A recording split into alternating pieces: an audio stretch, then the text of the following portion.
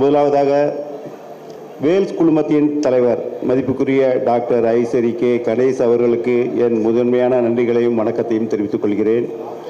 அடுத்ததாக doctor Preetha K. Ganesh vice president Vels educational groups அவர்களுக்கும் என் மனமார்ந்த நன்றி. நீங்கள் இல்லாவிட்டால் இந்த நிகழ்வு நடந்திருக்க சாத்தியமே இல்லை. மேலும் visual communication department HOD doctor S Valarmathi அவர்களுக்கும் எங்களுடைய குழுவின் சார்பாக நன்றியினை தெரிவித்துக் கொள்கிறேன். இன்றைய தினம் எனக்கும் எங்கள் மெய் சர்வதேச திரைப்பட விழா குழுவிற்கும் ஒரு சிறப்பான நாளாகும். அதற்கான காரணங்கள் பல. மேலும் மென்மேலும் சிறுக வருகை தந்துள்ள தேசிய விருதுகள் பெற்ற இயக்குநர்களான மதிப்பிற்குரிய இயக்குனர் திரு பார்த்திபன் அவர்களையும் மதிப்புக்குரிய இயக்குனர் திரு வசந்த பாலன் அவர்களையும் வரவேற்று என் வணக்கத்தையும் எங்களின் அழைப்பை ஏற்று வந்தமைக்கான நன்றியினையும் தெரிவித்துக் கொள்கிறேன். மெய். மெய் இன்டர்நேஷனல் ஃபிலிம் ஃபெஸ்டிவல் துவங்கப்பட்டு இரண்டு ஆண்டுகள் ஆகின்றது. இத்தருணத்தில் இந்த மாபெரும் நிகழ்வினை இத்தகைய பெரும் திறமைமிக்க நபர்கள் முன்னிலையில் நடத்துவதில் அளவற்ற மகிழ்ச்சி. உண்மையான படை படைப்புகளை தேர்ந்தெடுப்பதே எங்களின் முதன்மையான வேலையாக இருந்தது இனிமேலும் இருக்கும். திரைப்பட விழா போட்டிகளில் பங்கேற்க திரைப்படங்கள் மட்டுமல்லாது எங்கள் குழுவே தங்களின் முயற்சியினை கொண்டு பட்டி தொட்டி எங்கும் இருக்கும் சிறந்த படைப்புகளை கொண்டு வந்து பெரு மக்கள் கூட்டத்தின் இடையே சேர்ப்பதே எங்கள் மெய் குழுமத்தின் ஒரு இலக்கு. பல்வேறு திட்டங்களை ஆராய்ந்து கொண்டிருக்கின்றோம். அதில் ஒன்றுதான் எங்கும் இல்லாத வண்ணம் உலக நாடுகளில் இருந்து எங்களின் விழாவிற்கு அனுப்பப்பட்ட திரைப்படங்களை முறையான அனுமதி பெற்று எங்களின் இணையதளத்தில் நீங்கள் எளிதில் கண்டுகளிக்கும் வகையிலான ஒரு முயற்சியினை துவங்கியுள்ளோம். இன்று விருது பெறும் அனைவரும் எனது மனமார்ந்த வாழ்க்கள் வாழ்த்துக்கள். இது இங்கு நின்று விடாமல் இன்னும் உலக அரங்குகளை நோக்கி உங்களுடைய படைப்புகள் செல்ல வேண்டும் என்று வாழ்த்துகிறேன். வாய்ப்புக்கு நன்றி கூறி விடைபெறுகிறேன். நன்றி வணக்கம். அனைவருக்கும் வணக்கம்.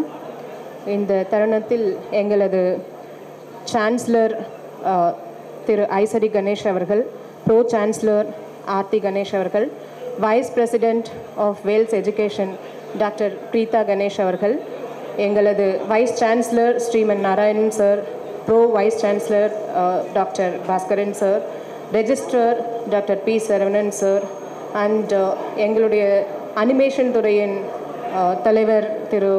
கலைசெல்வன் சார் தென் அவர் டிபார்ட்மெண்ட் ஃபேக்கல்டிஸ் அண்ட் இந்த நிகழ்ச்சியின் கோஆர்டினேட்டர்ஸ் திரு. மனோஜ் அவர்கள் டாக்டர் செந்தில்குமார் அவர்கள் எங்களது யூனிவர்சிட்டி சார்பாக இவர்கள் அனைத்து அனைவரையும் வரவேற்று uh, அவார்ட் வின்னர்ஸ் ஒரு பதினைந்து பதினாறு பேர் அவர்களையும் என் மனமர வரவேற்கிறேன். Parthiban sir, a sweet surprise to this function. Sir, in fact, I challenged that you won't come today. um, thank you so much, sir. Uh, just one uh, thing I want to share about you. So Parthiban சாருடைய முதல் படம் புதிய பாதை அது முன்னாடி உங்ககிட்ட share பண்ணியிருக்கேன் sir நான் பள்ளி பருவத்தில் வந்த படம் அந்த படம் எந்த அளவு தாக்கத்தை எங்கள் ஜென்ரேஷன் கொண்டு பண்ணுச்சுன்னு நான் சார் கிட்ட சொல்லியிருக்கேன் ஆம், அதாவது அந்த காலத்தில் நல்ல பையன் அப்படின்னா ஒரு கேரக்டர் இருக்கும். அதை உடைச்சி எரிஞ்சது புதிய பாதை. அது அந்த மாதிரி அது வந்து நெகட்டிவ் இன்ஃப்ளூயன்ஸா அப்படின்றது நம்ம சொல்ல தேவையில்லை. But a film has that much of influence in the minds of people அப்படிங்கிறது வந்து ஸோ புதிய பாதையில் இருந்து சாருடைய ஒவ்வொரு படைப்பும் ஏதாவது ஒரு வகையில் வித்தியாசமாக இருக்கும். ஒத்த சிறப்பு. ஐ டோன்ட் திங்க் இந்த world cinema cinema have such a single character who can do இந்த ஹோல் ஃபிலிம் எப்படி சார் அது? அந்த டெக்னாலஜி எல்லாம் எங்களுக்கு கொஞ்சம் ஷேர் பண்ணுங்க சார் அதுக்கப்புறம் இரவின் நிழல் ஆர்த்தர் வில்சன் சார் ஷேர் பண்ணும்போது எந்த அளவுக்கு அவங்க வந்து அதில் பாடுபட்டாங்க அது மாதிரி அந்த படத்தோட பிகினிங்கில் எத்தனை டேக்ஸ் நீங்கள் போனீங்க சச்சு அது நான் லீனியர் ஸ்டோரி டெல்லிங் வாய்ப்பே இல்லை சார் அந்த மாதிரி ஒரு படங்கள் கொடுப்பதற்கு தமிழ் சினிமாவில் டீன்ஸ் எஸ் அடுத்த படம் Teens in fact I am happy that two of my students உங்ககிட்ட அசோசியேட் பண்ணியிருக்காங்க Pavithra and one more student அது எனக்கு ஒரு சந்தோஷம் அதில். ஸோ உங்களை ரொம்ப எனக்கு என்ன வார்த்தை ப்ரிப்பேர் பண்ணல சார் ஏன்னா நீங்கள் வரமாட்டீங்கன்னு சொல்லிட்டு. Thank you so much sir Vels யூனிவர்சிட்டிக்கு நீங்கள் வந்ததுக்கு மிக மிக நன்றி. உங்களுடைய அந்த கலை நுணுக்கங்களையும் உங்ககிட்ட நிறைய சீக்ரெட்ஸ் இருக்குது அதை வருங்கால மாணவர்கள்கிட்ட நீங்கள் ஷேர் பண்ணி எங்களுடைய மாணவர்களை நீங்கள் அடுத்த ஜென்ரேஷனையும் தயார் செய்யணும் அப்படின்னு நான் பணியோடு இந்த நேரத்தில் கேட்டுக்கிறேன் சார் உங்களுடைய இந்த மாதிரி விழா இல்லாமல் ஒரு பர்சனலி எங்கள் ஸ்டூடெண்ட்டோட ஒரு கிளாஸ் மாதிரியும் நீங்கள் எடுக்கணும் சார் அது என்னுடைய இது. தென் uh, வினோத் uh, நான் ரொம்ப உச்சத்தில் பார்த்த ஒரு அதாவது முதல் படம் கூழாங்கல். இந்தியன் செக்ஷனில் ஆஸ்கர் வரலையும் போன ஒரு படம் அமேசிங் ஒரே ஒரு சீன் பற்றி மட்டும் நான் சொல்லிடுறேன். ஏன்னா நாங்கள் சின்ன வயசில் அது விளையாடி இருக்கோம். அது எப்படி மேபி எல்லா கிராமங்களிலையும் அது காமன் போல் இருக்குது அந்த ரிஃப்ளெக்ஷன் கண்ணாடியை அந்த பையன் வச்சுட்டு அவங்க அப்பாவோட முதுகில் காமிச்சிட்டே போவான். அந்த சூடு பட்டு தாங்க முடியாது. இதை நாங்கள் விளையாட்டாக செய்திருக்கோம். அது ஒரு காட்சியாக வடிவமைச்சிருப்பார். என்னென்னா அந்த பையனுக்குள்ளே இருக்கிற கிரட்ஜு அவனால் வெளியில் சொல்ல முடியாது. அதை வந்து என்ன மாதிரி ரிஃப்ளெக்ட் பண்ணுறோம் அப்படிங்கிறத வந்து ஒரு காட்சி மொழியில் அதை சொல்லியிருக்கிற அந்த விதம் அந்த சீன் வந்து இட்ஸ் லைக் அமேசிங் ஸோ மேலும் மேலும் பல உயரத்திற்கு நம்ம வினோத் செல்ல வேண்டும் என்பது எனது ஆசை. வாய்ப்பு அளித்தமைக்கு நன்றி. மெய் international film and MD sir தங்களையும் வரவேற்கிறோம். இந்த நிகழ்ச்சியை எங்கள் பல்கலைக்கழகத்தில் ஹோஸ்ட் செய்து எங்களுக்கும் இதில் ஒரு பங்கு அளித்தமைக்கு நன்றி சார் ரியலி அண்ட் வினோத் சாருக்காக நாங்கள் ஒரு ஸ்பெஷலாக வடிவமைச்சிருக்கோம் ஒரு அது அந்த டைமில் நான் சொல்கிறேன் நன்றி. அனைவருக்கும் நன்றி. அதே மாதிரி மாணாக்கர்கள் இத்தனை பேர் வந்து நீங்கள் ஏன்னா ஜென்ரலி வந்து ஒரு பாப்புலர் அந்த மாதிரி ஒரு பிக் பட்ஜெட் ஒரு ஃபேன்சி அப்படிங்கிறது தான் வந்து நம்மளுடைய ஒரு எக்ஸ்பெக்டேஷனாக இருக்கும். பட் நம்ம இன்னைக்கு செய்ய போகிறது எல்லாமே ஒரு கலைஞனுக்கான ஒரு இதுதான். அவங்களுக்கான ஒரு அவார்ட்ஸ் தான். ஸோ யாத்திசை டீம் எனக்கு நல்லா பர்சனலி தெரியும். அவங்க சவுண்ட் ரெக்கார்டிஸ்ட்லேருந்து சாப்பாடு ப்ரொடக்ஷன் பாய்லேருந்து ஆக்ட் பண்ணியிருக்கிறாங்க அந்த படத்தில். யாரும் அந்த இடத்துல வந்து நான் இந்த வேலை தான் பார்க்குறவன் அப்படின்னு சொல்லலை. ஸோ அப்படிப்பட்ட ஒரு கலைஞர்களுக்கான ஒரு விருது மெய் இன்டர்நேஷ்னல் செலக்ட் பண்ணியிருக்கீங்க சார் மிக்க நன்றி. வாய்ப்பளித்தமைக்கு நன்றி. விடைபெறுகிறேன். அவர்களுக்கு எங்களுடைய மெய் சர்வதேச திரைப்பட விழா குழுவின் சார்பாக மலர் கொத்து கொடுத்து வரவேற்பதில் பெருமகிழ்ச்சி அடைகின்றோம்.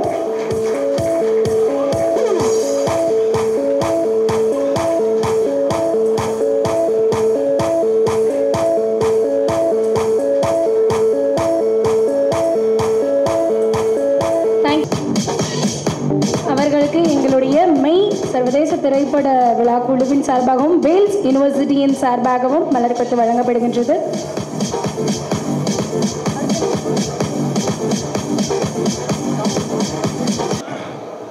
கண்டிப்பாக இங்கே இருக்க என்னோட சீனியர் ஃபிலிம் மேக்கர்ஸ் நிறைய பேர் இருக்காங்க.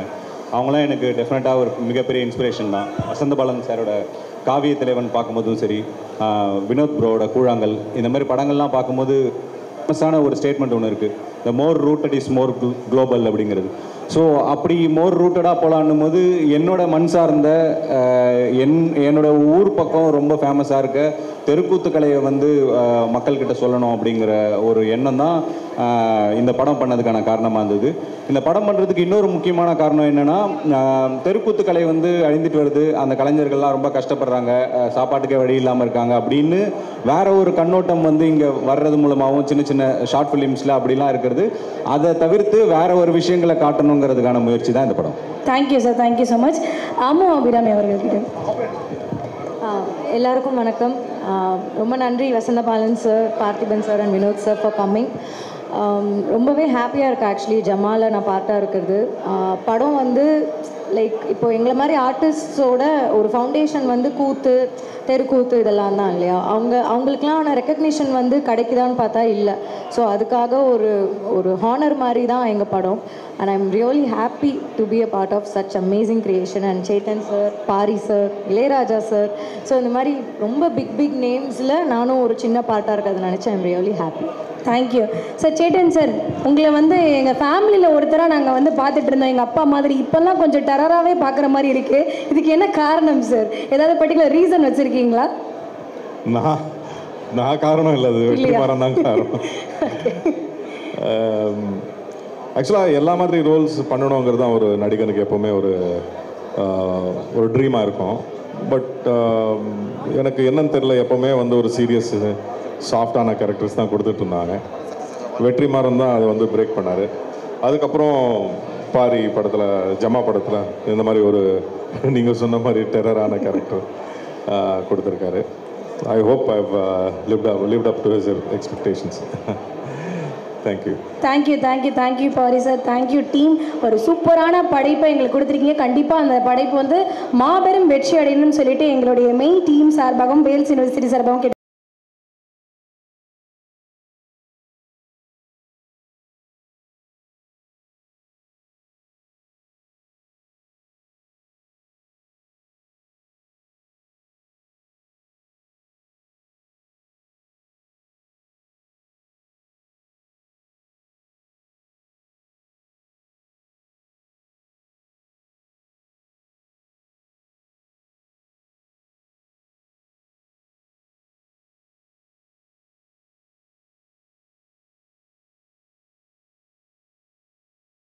இடத்துல உருவாகி மக்கள் மனசில் பயங்கரமான இடம் பிடிச்சிருக்கு. ஸோ அந்த படத்தினுடைய எடிட்டராக இருந்து பெஸ்ட் எடிட்டர் விருது வாங்கியிருக்கீங்க. எப்படி ஃபீல் பண்ணுறீங்க அனைவருக்கும் வணக்கம். இந்த விழாவுக்கு சிறப்பு விருந்தினராக வந்திருக்க Parthiban sir Vasantha Balan sir and எல்லாருக்கும் என்னுடைய முதத்துக்கான வணக்கம். இது யாத்திசைக்காக நாங்கள் குழுவாக வாங்குகிற நான்காவது விருது. சிறந்த படத்தொகுப்புக்காக இது என்னோட ரெண்டாவது விருது. ஸோ அந்த யாத்திசை படம் வந்து முழுக்க முழுக்க ஒரு ஒரு இருபதுலேருந்து முப்பது பேரோட கனவு. மொத்தமாக நாங்கள் வந்து ஒரு நாலு வருஷம் எங்களுடைய ஒரு கண்மூடித்தனமான ஒரு உழைப்பு நாங்கள் போட்டோம். இது இந்த அளவுக்கு ரீச் ஆகும் அப்படின்ற எந்த ஒரு எதிர்பார்ப்பும் இல்லாமல் நாங்கள் போட்ட ஒரு உழைப்பு. அந்த உழைப்புக்கு கிடைத்த ஒரு அங்கீகாரமாக நான் இதை பார்க்குறேன் இந்த மொத்த விருதும் என்னோட குழுவினருக்காக நான் வந்து இந்த சமர்ப்பிக்கிறேன். ஸோ தேங்க்யூ um, இந்த விருதை நடத்திட்டு இருக்க மெய் இன்டர்நேஷ்னல் ஃபிலிம் ஃபெஸ்டிவலோட டீம் மெம்பர்ஸ் அண்ட் வேல்ஸ் குழுவினர் எல்லாருக்கும் என்னுடைய மனமார்ந்த நன்றி. குழுவினர் சார்பாகவும் நன்றி. Thank you thank you thank you so much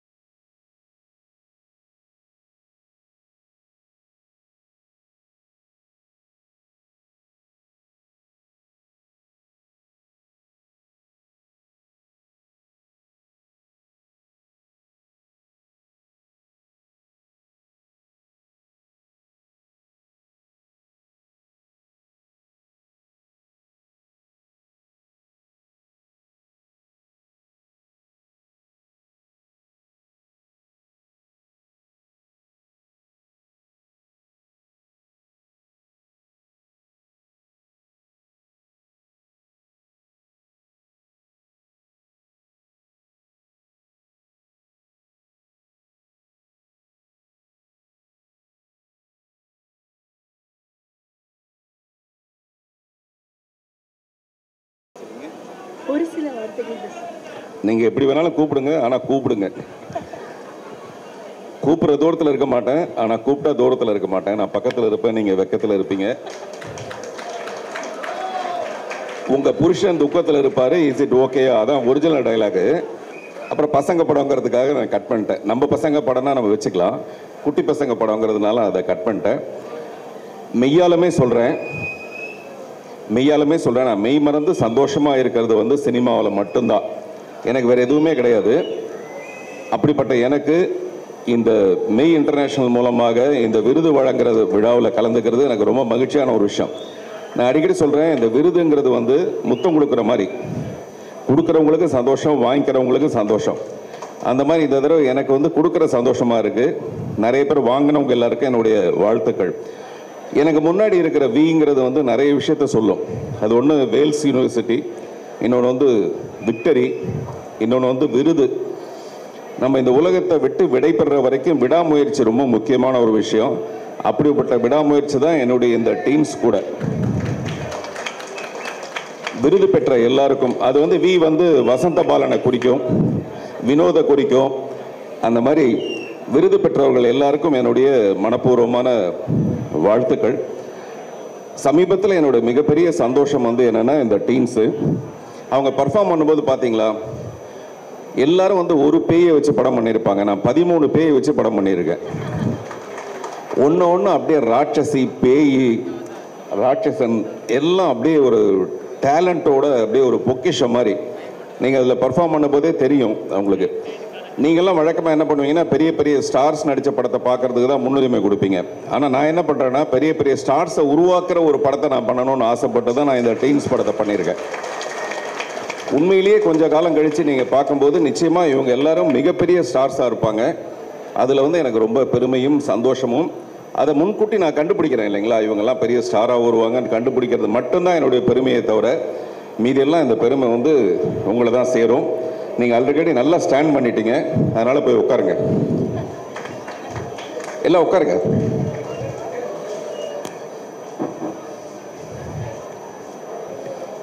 ஒரு சில வார்த்தை பேசிட்டேன். கொஞ்சம் பேராவது டீம்ஸ் பார்த்துருப்பீங்கன்னு நம்புகிறேன் அந்த டீம்ஸ் பார்த்ததுலேருந்து யாராவது சும்மா பேச ஆரம்பிச்சிங்கன்னா நம்ம கொஞ்சம் சகஜமாக நம்ம ஷேர் பண்ண ஆரம்பிக்கலாம். அப்புறம் கூழாங்கல் அதோட பெருமை ரொம்ப சிறப்பான ஒரு விஷயம். அதே மாதிரி கிடா அதே மாதிரி ஜமா வந்து தேட்டரில் பெரிதாக ஜமாய்க்க என்னுடைய வாழ்த்துக்கள். இந்த மாதிரியான சின்ன சின்ன முயற்சி தான் சினிமாவை வாழ வைக்கிறதே தவிர பெரிய பெரிய படங்கள்ங்கிறது நம்ம அவசியமாக இண்டஸ்ட்ரிக்கு தேவையான ஒரு விஷயம். அப்போ தான் வந்து திரையரங்குகள் வந்து ரொம்ப சக்ஸஸ்ஃபுல்லாக இருக்க முடியும். அதன் மூலமாக டிஸ்ட்ரிபியூட்டர்ஸ் ஹாப்பியாக இருக்க முடியும்.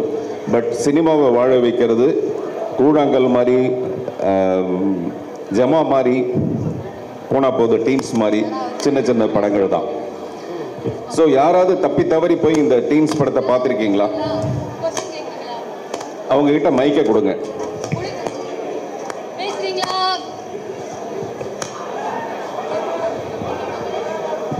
ஹலோ சார் இங்கே ரைட்டில் ஆ சொல்லுங்க.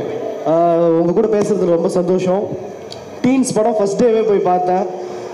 ஒரு என்ன சொல்கிறது உங்களோட இன்டர்வியூஸ் எல்லாம் பார்த்ததுக்கு அப்புறம் தான் இன்னும் ஒரு ஆர்வம் அண்ட் டீசர் ட்ரெயிலர்லாம் பார்க்கும்போது வாவ் சம்வாட் அவர் படம் அப்படின்னும் போது சம்வாட்ஸ் டிஃப்ரெண்ட்டாக இருக்கும்.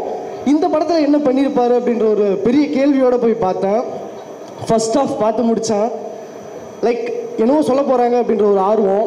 செகண்ட் ஆஃப் பார்த்து முடித்தேன் இந்த படம் கண்டிப்பாக இன்டர்நேஷ்னல் ஸ்டாண்டர்ட்ஸில் எடுத்துக்க வேண்டிய படமே அப்படின்ற ஒரு ஃபீல் எனக்கு ரொம்ப அதிகமாக இருந்தது.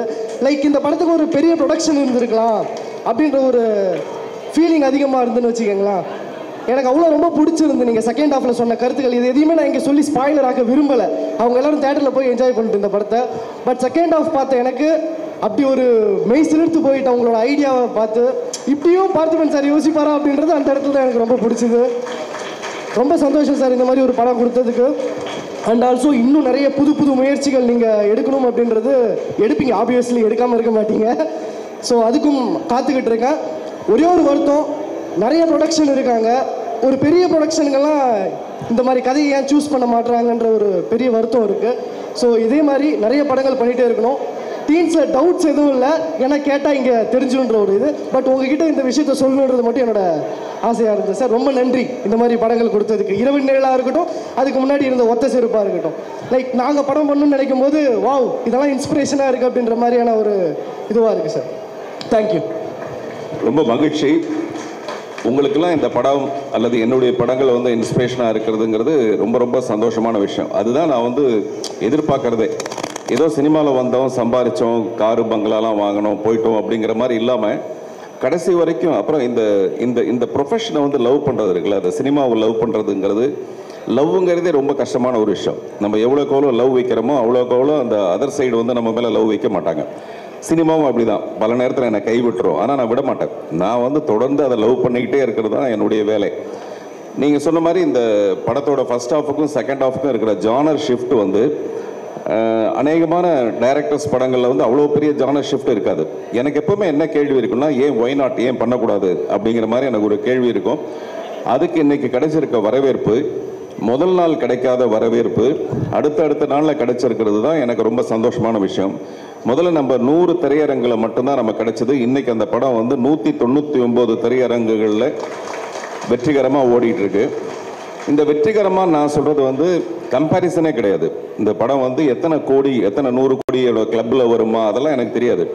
நான் ஒரு முயற்சி பண்ணேன். அந்த முயற்சியை வந்து வெற்றிகரமாக இன்றைக்கெலாம் படத்தை ரிலீஸ் பண்ணுறது ரொம்ப கஷ்டமான ஒரு விஷயம். அப்படி ரிலீஸ் பண்ணும்போது யாரோட ரிலீஸ் பண்ணுறேன்னா மு- மிகப்பெரிய ஒரு என்னுடைய கமல் சாருங்கிறது என்னுடைய மிகப்பெரிய ஒரு ஆதர்சம். சினிமானா எனக்கு கமல் சார். சினிமானா மூணு எழுத்து கமல் சார்னா மூணு எழுத்து. அந்த மாதிரி. சங்கர் சார்கிட்ட தான் முதல் முதல்ல நம்ம வந்து பிரம்மாண்டத்தையே கற்றுக்கிட்டோம் தமிழ் சினிமாவில் பிரம்மாண்டத்தை முதல் முதல்ல கொண்டது சங்கர் சார் தான். லைக்கா மாதிரி ப்ரொடக்ஷன்ஸ்னால மட்டும்தான் இந்த மாதிரி பெரிய படங்களை பண்ண முடியும். அப்படிப்பட்டவங்கள நான் ரொம்ப கௌரவமாக மரியாதையாக ரொம்ப பெரிய மரியாதை எனக்கு அவங்க மேலே. But when it comes to சினிமான்னு வரும்போது அல்லது போட்டின்னு வரும்போது அவங்க வந்து கிரிக்கெட் ஆடுறாங்கன்னா நான் கில்லி தாண்டா ஆடுறேன். அந்த சைடில் ஏதோ ஒரு சின்ன தேட்டர் ஒரு நூறு தேட்டரை எடுத்துக்கிட்டு நான் வேற ஒரு போட்டிக்குள்ளே வரேன். அவ்வளோதான் இதில் எந்த விதமான கம்பேரிசனும் கிடையாது. பத்திரிகைகள் எழுதும்போது மட்டும் கொஞ்சம் ஜாக்கிரதையாக அதை பற்றி எழுதணுங்கிறது என்னுடைய அன்பான வேண்டுகோள். இன்னைக்கு காலையில் கூட நான் ஒரு ட்வீட் போட்டிருந்தேன். நீங்கள் ஒரு கேள்வி கேட்குறீங்க அந்த பதில் நான் சொல்கிறதில் பாதியை மட்டுமே எடுத்து போடுறதுனால பாதிப்பு வந்து எனக்கு தான் வருது.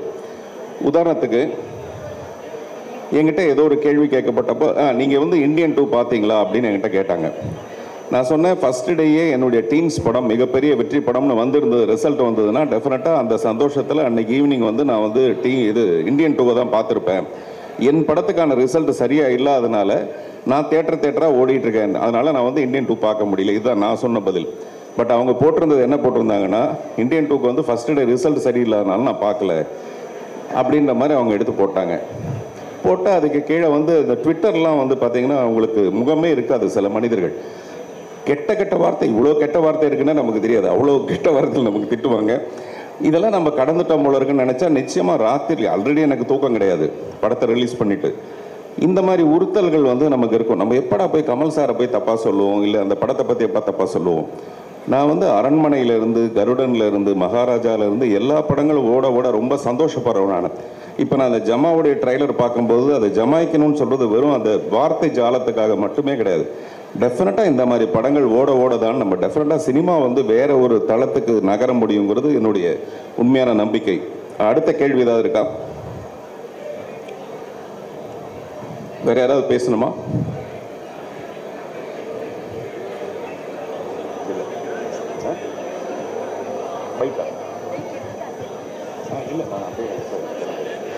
ஸோ எனக்கு ரொம்ப மகிழ் ஆ, சரி. பண்ணிடலாமா? பண்ணிடலாம். சரி. நான் முதலே சொன்ன மாதிரி அந்த முத்தம் கொடுக்குற வேலை இப்போ தான் இருக்கு. நான் சொல்றது முத்தம்ங்கிறது வந்து கொடுக்கும்போதும் கொடுக்குறவங்க வாங்குறவங்க ரெண்டு பேருக்கும் ரொம்ப சந்தோஷமா இருக்கும்.